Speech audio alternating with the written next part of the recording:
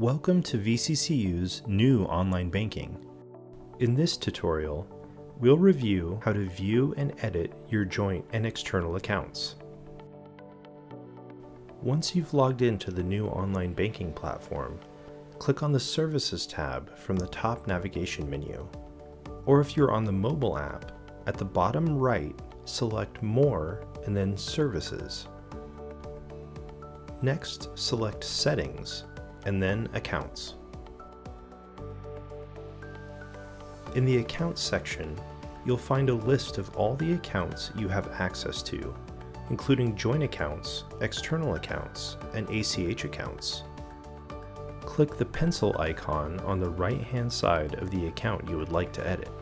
Here you have the option to give the account a nickname and assign a specific color. If you would like to see this account on your dashboard or make it available to transfer to, uncheck the box next to Hide this account. If you see an eye symbol crossed out with a line through it, that means the account is currently hidden and you will need to uncheck the Hide this account box to see it. Under the Accounts menu, you may also change the order of your accounts.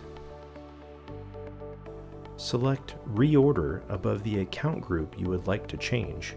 Drag your account up or down with your mouse or finger if you're using a touchscreen. You now have the flexibility to view or transfer funds to any of your accounts whenever you choose.